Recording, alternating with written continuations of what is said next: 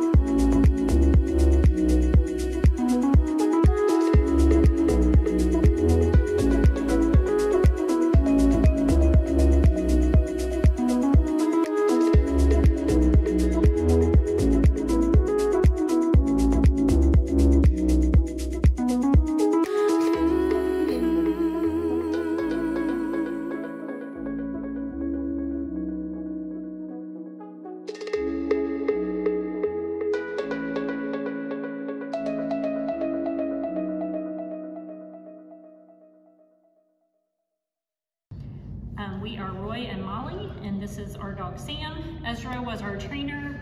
Um, we are very happy right now with our um, end of our training, and we're excited to see what Sam does when we go home.